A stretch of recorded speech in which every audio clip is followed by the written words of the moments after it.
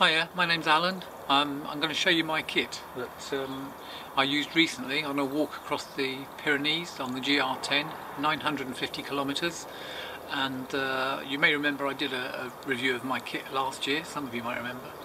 And uh, I've updated quite a bit of my kit since then to make it lighter. This will be what I'll be pulling apart.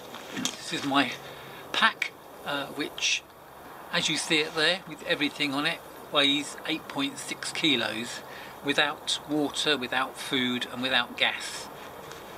And first of all, I'll show you some of the stuff I was wearing.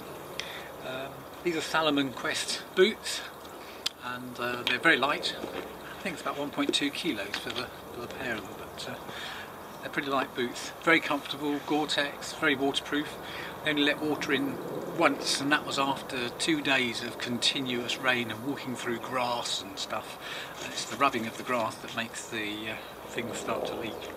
But they were brilliant, really comfortable. I didn't have a single blister, but I did wear two pairs of socks. I always wear merino liner socks. These are actually a, a merino mix, I think. They're um, These ones are from Alpkit, Alpkit liner socks, brilliant. Very comfortable. Over the top, um, a pair of uh, Bridgedales. These are medium uh, Trek, I think they are, socks. Very comfortable. Again, merino. So they don't smell. They're pretty good stuff. It's quite warm over in the Pyrenees. So most of the time I was wearing uh, this Rab t-shirt. Brilliant. That's the Rab Force. Love that. It's nice material. Soaks up sweat quite well and it dries and it's I think it's Polygiene as well so it doesn't smell. These are Columbia shorts very comfortable, very very light, about 150 grams I think now, and um, belt included, very good. Uh, pants I wore are Rohans, they were they're very good. Um, again I think they've got Polygiene in them, but they're um, a polyester mix. The hat I was wearing, I usually wear a, a Tilley hat, uh, and I have the airflow one but to, to, be honest they sweat an awful lot around the rim if you're in hot conditions. Um, this Trekmates one, is really comfortable, looks a bit more silly, it's not quite as stylish as the uh, Tilley, but it's nice and cool and breathable. Got a little pocket here you can open and let a bit more air in, um, and it's got a neck strap. But that was brilliant, I loved that, and it's easy to just screw up and throw in a pocket or under a strap or something. Love that. Um, and I had these bits from Treklite. It's a little wallet, fantastic, made of Cuben fibre, very very light, and uh, a little zip purse, which again is very very light, brilliant. So let's get on to what's in the pack. Uh, Blast rucksack. Um, I've already uh, done a review online of my thoughts on that. Um, and I did some modifications which I've discussed in that, that review. Um, they worked quite well. What I did find was this adjuster system keeps slipping despite what I did with it um, and so it doesn't work very well. What I've done since I came back is I've actually sewn the position I want it in so it's fixed and it, the adjusters can't slide at all now. This is a Renogy 5 watt solar charger. Um, and it worked well for me uh, when I did the Beacons Way uh, earlier in the year. But it gave up on me as soon as I had hot weather in uh, in the Pyrenees. We had a, a heat wave it was 38 degrees too hot for walking really. But this thing being black it just absorbed the heat it overheated. Um, and ever since then it's, all it's ever given me is a trickle charge uh, not very much at all so I'm not very impressed with that it's a solar charger. If you've got sun, you want it to work. So that's going inside the pack. The, the uh, arc blast opens like that. And inside is my tent. This is a Z-Packs Plexamid tent. Very, very light. It's about four, 470 grams, something like that. Plus pegs, which are in there. Um, very good tent, packs up small, fits neatly in the pack. Um, I'm going to do a separate review on that, uh, but that worked very well for me. Um, towel, I just leave this loose. I don't bother putting everything in its own little bag that they come with. Very light. It's 90 something grams, I think, this one. But, um, the thing I found with this is it works very, very well. It's light and, and it either spends its time just thrown in the pack or hanging on the back. But every time I washed it, it smelt. It still smelt. Um, so I didn't like it. It's not really nice having a towel that you then use again and it makes you smelly. So um, that's going. I'm going to choose a different one next time. This is my guide that I took, the GR10 guide. Um, some people say they just keep it on their phone. It's hard to read on the phone, it's hard to use when you're on the trail. Uh, and this has got good maps in, it's quite nice to have the pictures and stuff. Um, I used the guide, I took it, it's 380 grams, so that, that was included in that 8.6 kilos I was telling you about. But good guide, very good guide, Cicerone. My clothes bag, I'll show you the clothes I took. This bag is actually a Z-Packs um, large, I think they call this one. Uh, Cuben fibre bag. In there, uh, just a bit of um, uh, duct tape rolled up on a bit of cardboard, just in case anything broke, and I did use that on a couple of things. I used it for sealing a hole in the rucksack where the uh, where this flap comes in for the hydro hydration system. It actually forms a channel there and all the water runs in the hydration things. Otherwise the pack is waterproof. It's brilliant. But it's just a little bit of water crept in there. So I put some um, duct tape on the inside to seal it. Packet tissues. What have I got in here?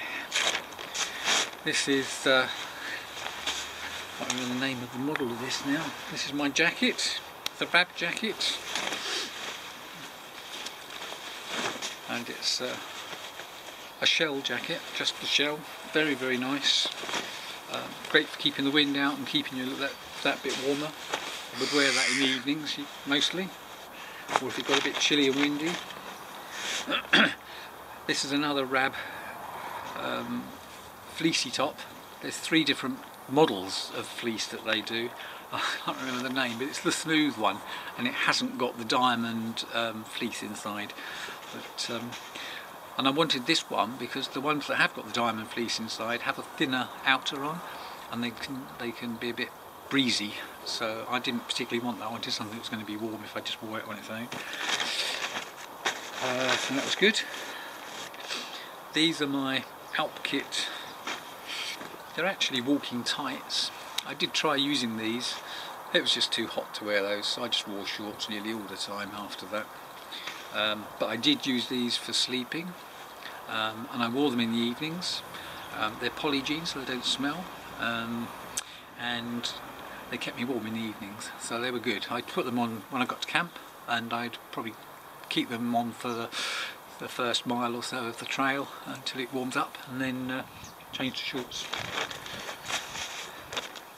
I took this with me.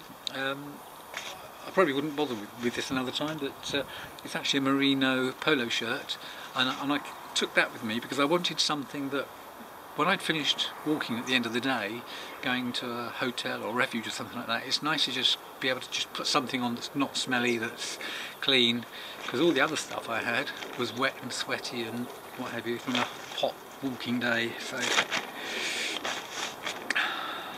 it was just nice to have something to throw on. This, again, is a, a Rab, this is a Rab Pulse long sleeve shirt with a half zip with a neck on it as well, polo type neck. And that was good, that was great for when it was raining and warm. Um, and I wanted to wear it underneath a um, my rain jacket. Um, that just gave that little bit of um, insulation between you and the jacket. Um, again, Polygiene doesn't smell, very versatile. All this stuff together was very versatile. And a spare pair of Rohan pants. Spare pair of, these are Rohan walking socks, outer socks. Uh, they're very light, um, a little bit less bulk than the other ones I had, the Bridgedales. Um, and I, I, did wear these, I wore both pairs alternately, but particularly these on hot, in hot weather because uh, they let my feet breathe a bit more. Another pair of the Alpkit liner socks. I took a costume with me and, and I'm glad I did. Some people skinny dip um, but there are times when I wouldn't have wanted a skinny dip. There were just young families and that about by lakes and places. Uh, and also there were uh, a couple of times I swam in swimming pools and you have to have shorts, swimming shorts in a swimming pool. They won't let you swim otherwise. The other thing I took with me was a buff. I didn't use it. Didn't use it all the time I was there but then if I'd had particularly cold, bad, windy weather it might have been useful but I didn't. So that's that bag, which weighs about 20 grams, very light. This is my food bag. It's the same size bag as that, um, again from Z-Packs, um, but very light. All that's in there at the moment is some bubble wrap, um, but that was the heaviest item I was carrying. Sometimes that would carry, that would be about three kilos worth of stuff in there because I didn't want to run out of food. Uh, and there are places where you don't know for sure if the shops are going to be open, um, which is a, a, pain over there. Um, and also you get to a camp and you might find that the, the, restaurants or whatever are closed and you want to eat your own food. So I made sure I had plenty of food. After, I nearly ran out one day um, and I didn't want to do it after that, so I made sure I had plenty of food. Plate. Was a cheeky plate, four for a quid they were in Go Outdoors. So light, but it's brilliant. It's good size. Just slides down the front of the pack. Um, no space, 50 grams. Um, and I can cut cheese, saucisson, bread, and it gives you a nice clean area when you're somewhere that's mucky. You just want to be able to put your food down and prepare prepare your lunch or whatever. What else is in here? This is my jacket I've got a down jacket for when it was cold and I wore this a few times, a couple of times at night when it got down to almost freezing. It can get below freezing. I, I went um, July to uh, end of August. I had this OEX jacket from um, Go Outdoors. Some people complain about these jackets because they lose some feathers and, and I must say a few little bits come out, you might see a few bits flying there. It's very light, it's 217 grams, um, it's got hydrophobic down in it, incredibly light outer, it's not actually Pertex, but it keeps the wind out, really comfortable, really warm, can save your life, uh, and that cost me I think about 80 quid, so you can't complain about a down jacket for 80 quid, and it worked well. First aid kit, I won't go through that in detail, but yeah, there's everything from from tick stuff to um, plasters, uh, what else is in there? Yeah, all kinds of stuff. Paracetamol, ibuprofen, just in case. That hardly got used. I, I think I used it for a couple of times for a couple of things. Uh, one guy I was walking with said he'd got had about three or four ticks, um, and this was about halfway through the walk. I didn't have any, so it's just whether you're lucky or whether you're prone to getting them. I get bitten by flies but I don't get ticks. Um, this is my map pack. I had two two packs. This is just a, a resealable um, pack here. I can't remember who makes it. Um, and I just kept all my maps. I printed all my maps and took them with me. It's probably about 250 grams worth there. Um, but they're all printed, numbered each side, um, so I can swap them over and see exactly where I am with the route printed on. And these came from the FFRP guides. Uh, I copied, I bought the guides and I copied the maps out of it and enlarged them. The FFRP guides weigh about 230 grams each, uh, and there's four of them for the GR10. So uh, I thought, well, I'll just take the maps uh, and the um, English guide. They're all in French, the FFRP guides.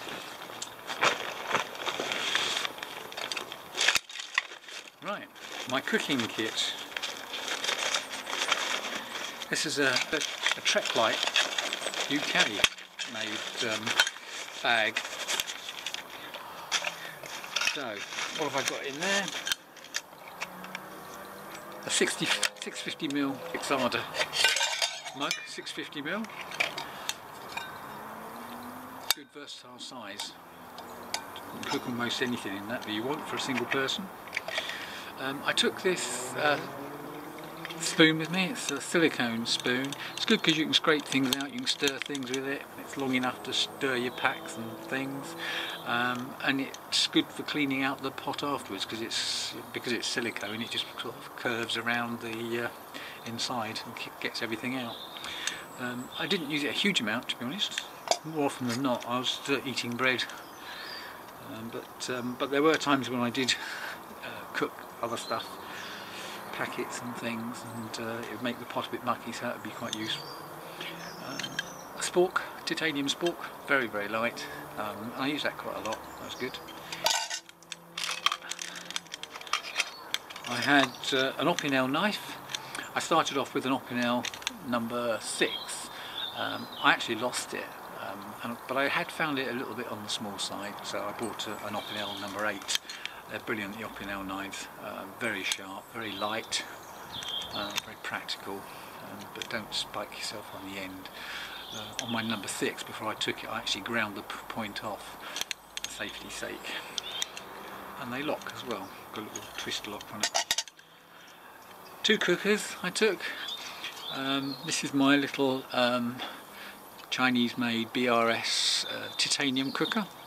Um, size of your thumb tiny but incredibly effective. Um, screws onto a, a Coleman style uh, gas cooker.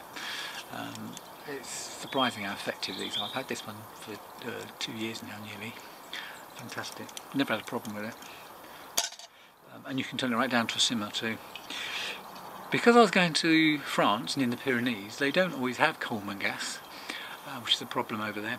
They tend to have camping gas, uh, Easy Click or the old uh, Pierce type uh, canisters. so what most people recommend is that you take um, a spirit burner.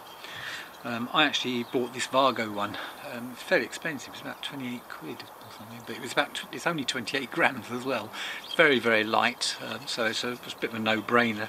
And it's got feet that you fold out and pot stand that you fold out. and you fill it with gas and it, it burns long enough to heat just about any meal um, if you if you if you cook up sorry if you boil up water in this 650 ml pot um, having filled this up uh, you'll still have some left in there some meths in there or, or alcool brûlée they call it in France uh, but you can pour it back out and it pours down the leg back into the into the pot but the trouble with Alcool Brûlée is that uh, they only tend to sell it in one litre bottles. It's pretty heavy. Uh, and I started with one of those, so I was glad to have this cooker with me. And I used it for about a week. and I got into the higher mountains and tried to cook up a, a coffee and breakfast in the morning. And uh, the, I couldn't light it. The Alcool Brûlée wouldn't light um, in the almost zero degrees temperatures. So the earliest opportunity, when I found a shop that sold Coleman gas, I dumped that and uh, bought some Coleman gas to use with this cooker. And then there was no problem. I also have with me a mug, a 450ml mug. Um, to be honest, that wasn't essential. It's just a bit handy. If you if you've made something uh, like a breakfast, a cooked breakfast, I, I tend to take uh, quinoa porridge. And um, I like that. And so I, would cook that up in that pot and then I could make my coffee in this. And you can actually put that on the stove of course because it's a titanium pot. Very light. And that's the lid for the 650ml pot. Very very useful for keeping either keeping things warm or for avoiding losing heat and wasting gas uh, when you're cooking I use one of these lighters just a striker usual thing. And um, this is my can opener. I think Coghlan's make these, I'm not sure. But uh, it's just an, an old-fashioned army style can opener with a little bottle opener on the other end. Very light, very effective. I only used it once I think but uh, it's a good thing to have. Um, and I've, this was in my last review I think it's a titanium windshield it's a bit noisy if you've got other people camping around you, it's a bit embarrassing making a lot of noise with this. so uh, a bit of aluminium foil is probably just as good. what else is in here? My electrical kit. Again, a little Trek Light Cuben fibre bag. Had a little Anker 650, 65, 6500 milliampere hour um, battery charger thingy which I could charge from my solar pack if it was working properly. Um, but I did I did still charge it. Uh, it's got four little lights that tell you how much battery you've got left in there. Um, and on an average day after it had gone wrong that thing would charge it up one light um, whereas previously it would charge the whole thing up in a day. Some other things in here headphones I keep in there little earphones for my phone that's a little battery charger uh, for AAs and AAAs, um, which I took, a little USB charger um, for the batteries in my GPS. and then short leads, USB micro and a USB-C for my phone. And I had a long USB mini, uh, micro USB, which was for the solar charger, so I could actually have the uh, battery pack in the pocket and the solar charger on the back. that's my uh, just my international USB double adapter. Uh, that worked very very well. And this thing is just a little tiny USB plug-in light. Superfluous you might say. Weighed seven grams that.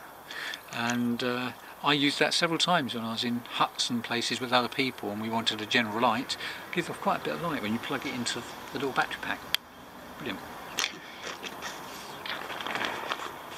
And they're available for, for, just a couple of quid I think online on eBay. Or maybe on Amazon as well. My um, toiletries pack. Again another Cuben fibre bag from Treklite um, toothpaste, toothbrush, a comb um, deodorant some soap general purpose soap for washing my uh, kit uh, and me. A pair of scissors so I could trim my beard. I had these long thin scissors. That worked pretty well. Kept it kept it in reasonable trim. Um, and this is something a friend of mine bought me before I went on the trip. He said you might be needing something to look after your feet. Just foot cream. Um, and actually I, I thought oh, that's another 80 grams I've got to carry but uh, to be honest it was actually very good And every time I stopped in a place uh, where I could be comfortable with a bed then I would have my shower and uh, put that on my feet and just sit on the bed and it was really nice and it, it stopped the feet my skin getting too dry under my feet and stopped the skin uh, going into funny shapes and, and causing rubbing on between the toes so it's worth having that, I must say. Right, my sleeping kit goes on the bottom. It's all in one bag. Um, this is actually uh, an Exped, um, an Exped bag, and it's one of their Ultrasil, ultra lightweight bags. I think it's about 13 litres, I'm not sure, 10 or 13 litres, something like that. Um, what does it say? It just is a UL. Um, and what I did was because I for blowing up my sleeping mat, I didn't like the um, pump bag systems that came with the sleeping mat, or generally with the sleeping mats that I've had. So I made my own from this Ultrasil bag. Um, and I had an old pillow that had a, a, nozzle on it, which seemed to be just about the right size for fitting to my sleeping bag. And I fitted that to it with some glue, cut a hole in, glued it in, and uh, it's worked very, very well for me and it acts as a stuff sack for all my sleeping kit too. In here is this nice silk um, sleeping bag liner. That that was used all the time I was away. I didn't wash it, and uh, I still haven't washed it actually. But it still doesn't smell because silk is naturally antibacterial, um, as is merino that was really good. It's very light. This is under 100 grams. I think I bought this one from Blacks. Fantastic. Very comfortable too. And it keeps your sleeping bag nice and uh, clean. And just gives you that extra layer of warmth, keeps the drafts out. My sleeping bag uh, is, is not an ultra ultra light one, but it's a, a nice bag. It's a Marmot um, hydrogen. And the good thing about this is, I, is I've had I've had ultralight bags before that weigh about 500 grams and they don't keep you as warm as you'd like. They don't give you enough air around the body. Um, they're very tight so you can't turn over very, very well. So they're just not very comfortable. Feel a bit sweaty and horrible. This one's got more space in it. Um, it weighs nearly 700 grams, I think 670 grams or something like that. Um, but it's got a good foot box in it, three quarter length zip, um, and the hood on it is fantastic because you can fit the pillow inside the hood as well and pull it over your head. Fantastic sleeping bag. Uh, and that was really comfortable and very warm and it's 800 filled down. It's not the finest down but it's it's a very nice bag. I'd recommend that. The pillow I was mentioning I use is the Sea to Summit Aeros I think they call it pillow. Um, this is the smaller one um, and, and it's brilliant. Worked fine. I was away nearly seven weeks doing that walk and it worked perfectly. And this is my sleeping mat. Um, and uh, Exped, I can't remember the model number I'm afraid, but I found that the combination of this and the pump bag I made is actually lighter than the uh, Thermarest um, what do they call their ultralight one, the yellow one? Can't remember, but it's um, this worked out lighter with that than the, than the Thermarest one. I wasn't that keen on the Thermarest one because I found it too slippery. Uh, kept slipping away from under me and I found I was laying on my ground sheet a lot of the time. Um, that one has got uh, a bit more grip to it. It's a bit more comfortable from that respect. Okay. Valuables in It's another little Treklite um, bag uh, with a zip on it and that was big enough for my passport and my spare money and any other little documents that were important and that got this little clip on. I just clipped it onto the inside the hydration bladder clip inside. Kept it safe so it couldn't slip out and be lost. Everything oh no not quite everything from inside. The thing that's in the bottom. So I made this travel bag from um, a rubber bag uh, and it's put in my rucksack in uh, at the airport. So it can go through the uh, airport and conveyors everything without all the straps and all the bits hanging off catching. Not everything would fit right inside the pack. Um, and this weighed 90 grams um, and I could tie the top. So I ended up carrying that excuse me, all the way uh, along the Pyrenees. One guy that I uh, met uh, said that what he does is he uses cling film just just buys some cling film at the supermarket before he comes back um, and wraps his pack in that, which is a good idea. Saves carrying something. Right, um, what else have I got in here? My raincoat. I think this is probably the, the latest and lightest uh, Berghaus um, Gore-Tex raincoat you can buy. Um, it's called the GR20. It's very light material, um, but, but it's very waterproof. Uh, kept me dry and very breathable too. Uh, what they've done is, is the new Gore-Tex is, is about half the thickness of the older Gore-Tex, the original stuff, and it's very it's still very waterproof and breathable. But what they've also done with this jacket is they've put little air vents in, which don't let the water in because they're facing open downwards and uh, yeah very breathable very waterproof but not terribly good as a wind break in freezing cold wind because obviously wind can get up through those vents but otherwise it's very good very good um, jacket I'm very pleased with that and very light as well it's the lightest one I've had I can't remember exactly how much it does weigh now I'm afraid. And these are my, previously I had a Paclite and it's lighter than a Paclite jacket. And these are the Paclite pants. I haven't found anything better than those. Waterproof, breathable, very effective. I wore those quite a lot in it. It's wet. And you can see they got very mucky haven't washed them. uh, gaiters, Trekmate, I think they are, gaiters. Very effective. Uh, kept the, uh, the Gore-Tex again. Kept the rain off and out of my boots.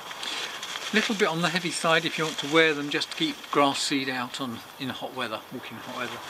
So um, I want, I'm looking at some very much lighter ones, like the Dirty Girl gaiters or something like that.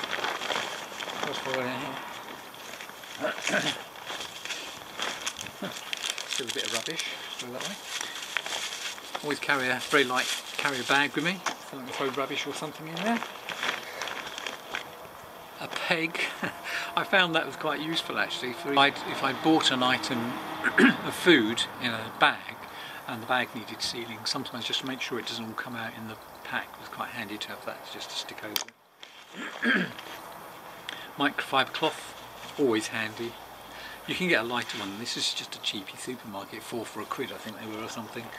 Um, but that gets that got used an awful lot. I was using it for wiping down the tent inside. You had a lot of condensation in, in tents. Um, so in the morning before you pack up, it's nice to have something like that to, to wash it off with, screw it out. Um, but I also used it for washing me um, and drying things. And this is a Tyvek footprint that I made. Tyvek, I, I, I, it was in my last review. It's like paper, but it's a, a plasticky kind of material, which is waterproof. And they use it in housing, but it's very light. That that weighs about 120 grams, I think. Um, and it stops thorns and stuff going through your tent and piercing your mat. So in seven weeks, I didn't have any problems because uh, I used that all the time. If you're wild camping and you, you never know if there's a prickle or prickly bit of wood or something underneath. So it's a good idea to have something like that. and you can just cut it to shape. It's about five quid on eBay for a sheet. Right. Essential if you're doing the Pyrenees. I had these Z-Packs walking poles. Um, they're the lightest ones I could find. 200 grams each I think they are, something silly. Uh, and they're, they're carbon uh, and they're quite long too so they open out long enough to support the tent. My, my tent is a, a poleless design um, and you use one of these to support it in the middle, Plexamid. Um, and being adjustable, I could adjust the height of the tent if it was windy or not, um, which was good. But these are great because they've got the two handles are great. You can normally hold it there but if, if the terrain changes a little bit and you're walking in a slight gully on where the footpath's worn in, um, you can just slip down. Or if you're walking on an incline, you can have one, one there and one there, and walk like that. Brilliant. Wouldn't have done the GR10 without those. They were fantastic. Uh, and they lasted very well. I mean, people do complain about breaking their poles and that, and imagine that, that something light like this would be too flimsy. I suppose I was very aware of that, so I was being as careful as possible. But the paths in the GR10 are pretty rough, lots of rocks and stuff like that, and everything survived. Sun cream, just a small pack of sun cream, pack 30. I, to be honest, after after about a week, I stopped using sun cream because my skin had turned brown in the exposed bits. That is. This is my um, toiletries pack a couple of emergency things. Made out of, I made this little bag out of Tyvek. It's pretty tough stuff, so you can sew it and do stuff with it. That was essential, I found. Um, Lifesystems Ex Expedition Sensitive Insect Repellent. Uh, it's very light. And there are only occasions where I needed it, but when I got when I was camping one night near water and uh, a couple of other places where I was in a static position, uh, you get over on the Pyrenees, you don't get many things that, that, that, bite you. I found, but but one thing that does is the horseflies, mouche de temps, I call them, and they're pigs. They really bite you, and they're following you all the time. The minute you stop, they're on you and bite you. Um, so you can't, when you're walking, you can't use something like this. You just have to be aware of them. Um, but um, when you're stopped, that that keeps them away. And when they have bitten you, it's useful to have something like that. That's just a little after bite pen, which uh, I found was, I think, think I bought these in Greece a year or so ago, and um, yeah, it works. It's just some ammonia based stuff. toilet paper, just rolled up around uh, a lolly stick. That's good. Just pick up that wherever you can then. Um, and this was just a, a hand spray um, sanitizer. You can use gels, I suppose. And this was something I made just for digging a hole for um, doing number twos. Um, and to be honest, I, I, think I only used that a couple of times because there's so, so, many rocks and so much vegetation and stuff, and, and, you can't actually dig most of the areas. So I hardly used that. Thankfully, it only weighs 18 grams. That wasn't too much carry. This was really useful. Again, this is a little uh, Sea to Summit um, Ultrasil Nano Pack. That's a little um, rucksack. I think it's 18 litres or something, or 10 litres is it. But that, that's a little rucksack that you can just pull out of the pack, weighs 30 grams. And I use this whenever I was in a town or something like that and I'd pitched my tent and I wanted to go to town and carry some stuff or get some shopping, I could take this and put it on your back carry your bits and you don't have to worry about your bags, uh, your, your, hands uh, occupied. Very good, 30 grams, fantastic. People laughed at me on the trail because I, I always take my seat with me.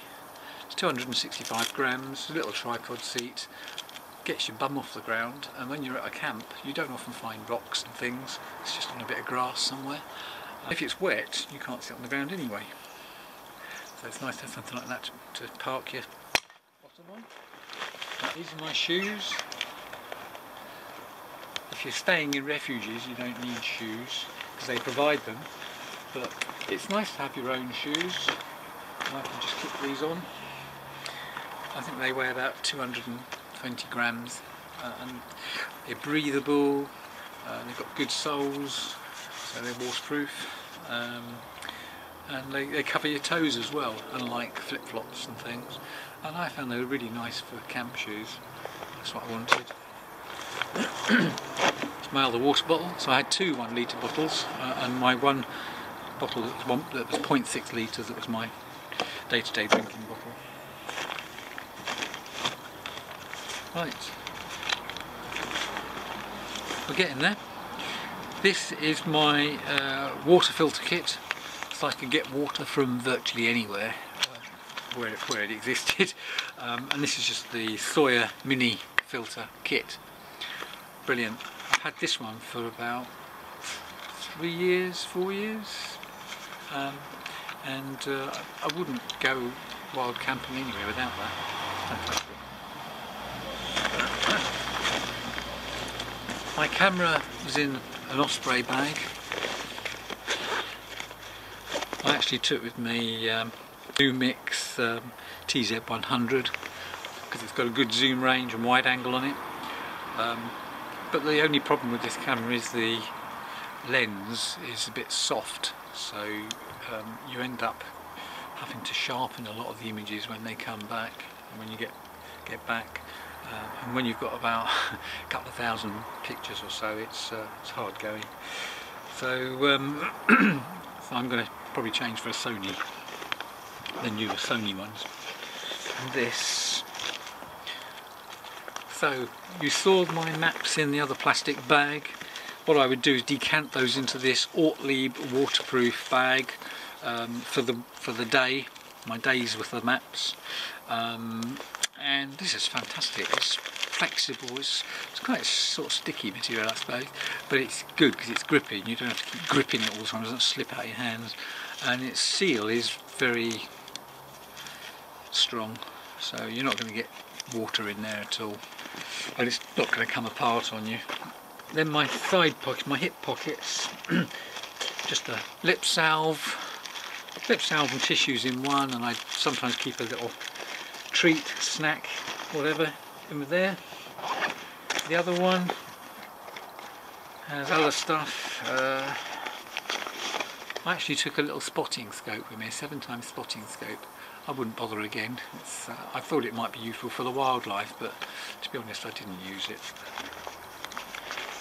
head torch.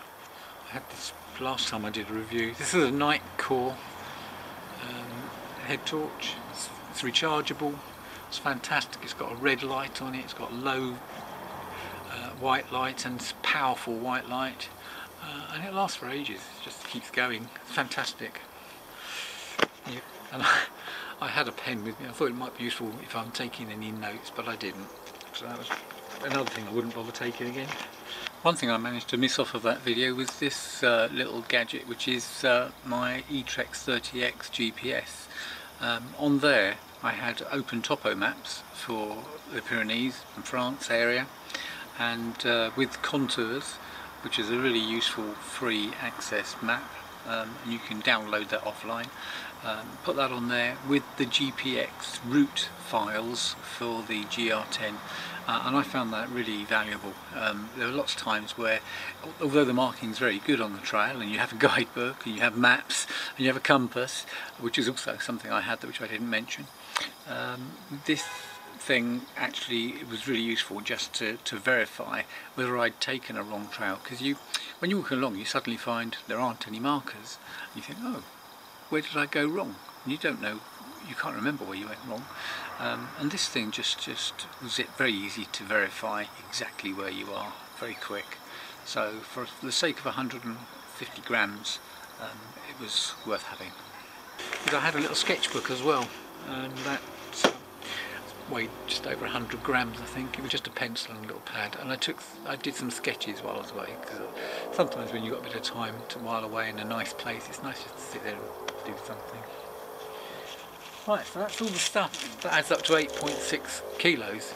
Um, it's as a as a total pack, you would say that's not ultralight, um, but it it is ultralight kit, um, and it's just not minimalist. I don't like going wild camping minimalist. I like to be comfortable, and I don't mind carrying a bit of extra kit to be comfortable.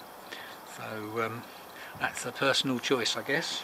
There's also some stuff in this bag that um, I took with me and I didn't need it. So I sent it back home after about a week. And um, in this bag, it was a, I had another Ortlieb map case, which I was going to use for the guide. Didn't need it. One litre water bottle. I thought I might need some point if I needed extra water. I didn't use that. Um, a beanie, I didn't need a beanie because I had two hoodies on my jackets and uh, I had the buff as well, so that was superfluous. a pair of gloves, if it was really cold I could need a pair of gloves, um, but they kind of got in the way and I didn't really need them that much because it wasn't as cold as it could be. A scourer. Um, I took the um, straps off of my walking poles because they just got in the way.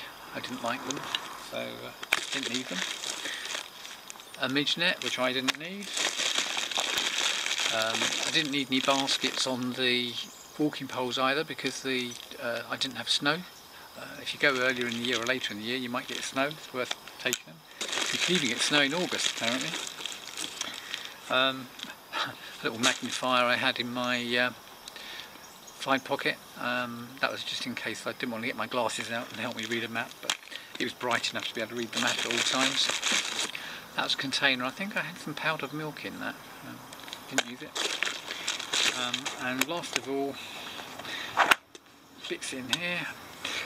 A titanium frying pan. I thought as I'm in France I might want to buy myself a bit of steak or something and fry it up.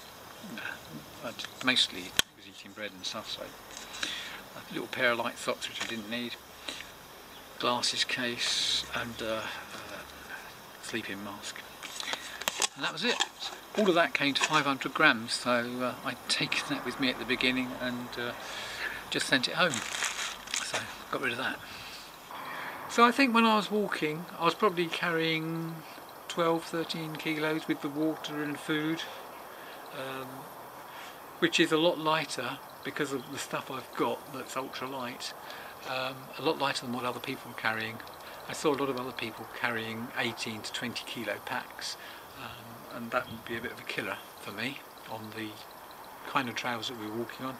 It was uh, 50 kilometres up, 50 kilometres down and 950 kilometres of walking uh, on rough paths a lot of the time. Um, good walk, recommend it. And I hope that this has been helpful to you um, in, in choosing any of your gear or selecting the kind of gear you want to take on a trip, particularly if you want to do a walk like the uh, GR10 across the Pyrenees. Thanks for watching. Bye bye.